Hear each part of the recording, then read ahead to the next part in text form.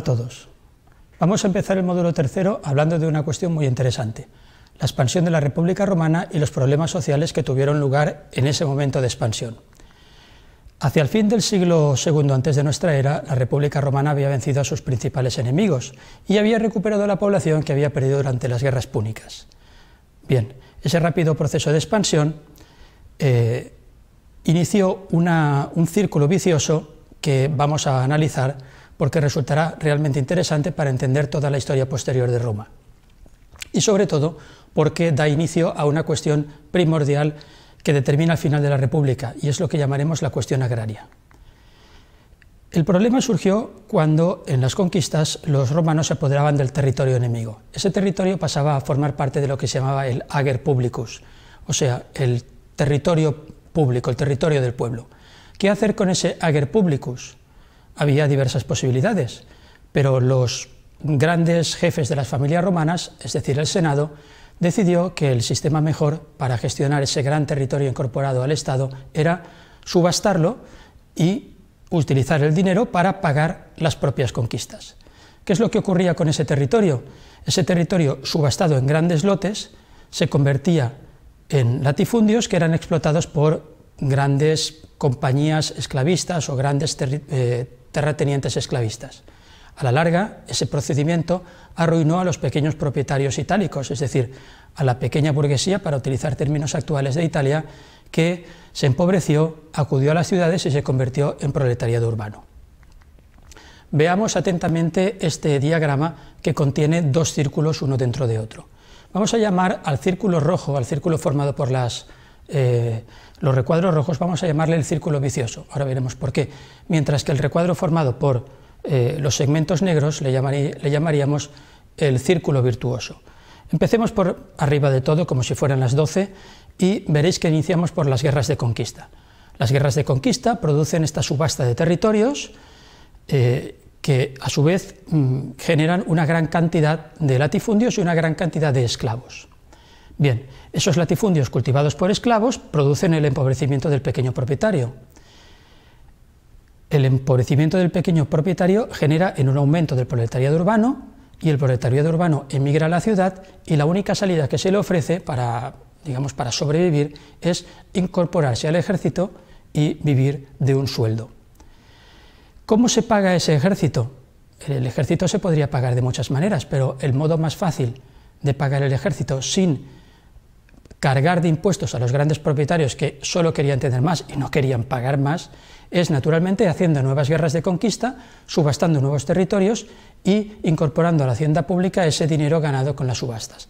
De modo que el círculo se continúa continuamente, las conquistas se engrandecen continuamente, el número de esclavos se engrandece continuamente y los latifundios se refuerzan continuamente sin que haya nada que pare este, digamos, esta bola de nieve que produce empobrecimiento de la clase media y enriquecimiento de los grandes terratenientes.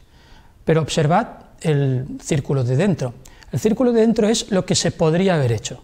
Se podría haber hecho unas guerras de conquista menores, en lugar de la subasta del territorio, del territorio conquistado, la parcelación, es decir, hacer pequeños lotes del territorio conquistado y entregarlo directamente al proletariado urbano o a los soldados que se licenciaban, por tanto, habría una reducción del presupuesto del ejército, una reducción del mantenimiento del proletariado urbano y el ejército finalmente se convertiría en un ejército de propietarios y no, en un ejército de mercenarios y las guerras de conquista serían menos necesarias. Esta, digamos, era la otra política de Roma. No es que los romanos fueran ciegos a esta cuestión. De hecho, en Roma se formó eh, el denominado Partido del Pueblo, los populares en latín, no era exactamente un partido político, porque los partidos políticos estaban prohibidos en Roma, pero era un grupo de opinión que actuaba a través de la magistratura más democrática, que eran los tribunos de la plebe, que representaban a los ciudadanos más desposeídos, vamos a llamarles también así. ¿Cuáles eran los grandes puntos políticos de, de este partido del pueblo? Distribución de la tierra a la preurbana, distribución de tierras a los soldados licenciados, creación de colonias y asentamientos de los soldados veteranos en ellas, concesión de la ciudadanía romana a habitantes de Italia, es decir, a los pueblos itálicos, y después algunas otras cuestiones menores como devaluación de la moneda, lo que ayuda a pagar los préstamos, mm, derecho de los caballeros, que es la clase media, formar parte de los tribunales, etc. Bien, entre las figuras más importantes de este Partido del Pueblo existen, mm, digamos, grandes mm, figuras históricas de, la, de, Roma, de la historia de Roma.